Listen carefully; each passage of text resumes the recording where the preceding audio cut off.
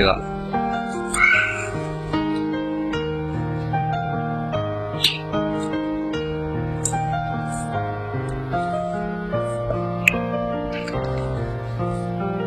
然后把两侧的边折向这条折痕，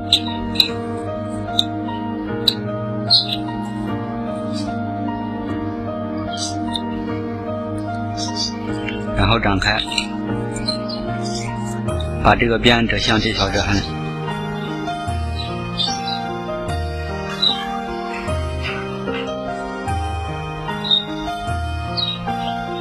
这个边折向这条折痕，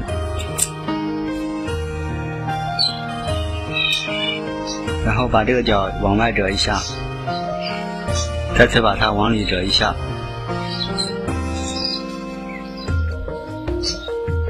这边也一样。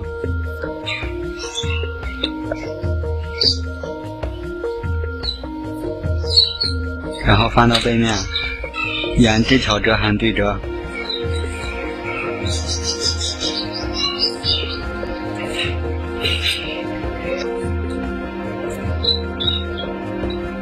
把这个角往右折，然后按照折痕把它翻折过去。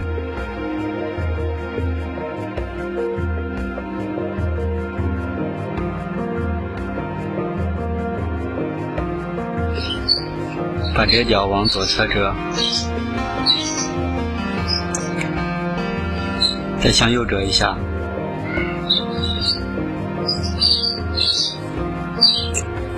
然后按照折痕把它翻折到里面和外面。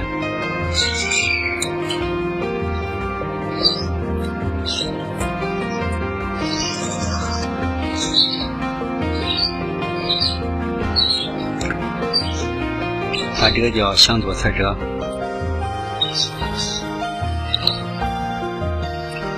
然后再把它折向右侧，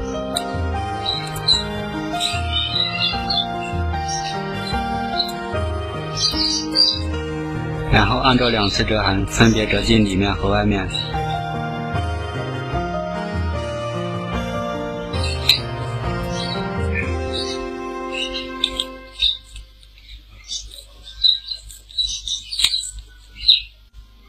把这个小角往里折一下，可以先向外折出折痕，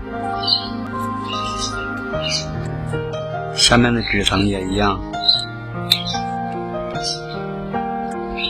这样一只企鹅就完成了。